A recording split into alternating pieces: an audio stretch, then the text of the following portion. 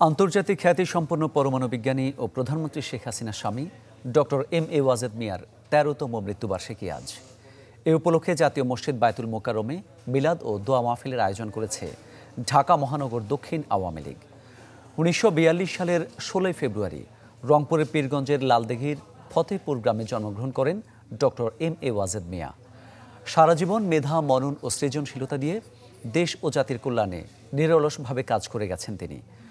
উনিশশো সাতষট্টি সালের সতেরোই নভেম্বর বঙ্গবন্ধুর বড় মেয়ে শেখ হাসিনার সঙ্গে বিবাহ বন্ধনে আবদ্ধ হন ডক্টর ওয়াজেদ মিয়া। বাংলাদেশ পরমাণু শক্তি কমিশনের চেয়ারম্যানের দায়িত্বভার সামলানো doctor M A Wazed Miah লেখক হিসেবেও পাঠক মহলে সমাদৃত। দু হাজার নয় সালে মারা যান এই পরমাণু বিজ্ঞানী।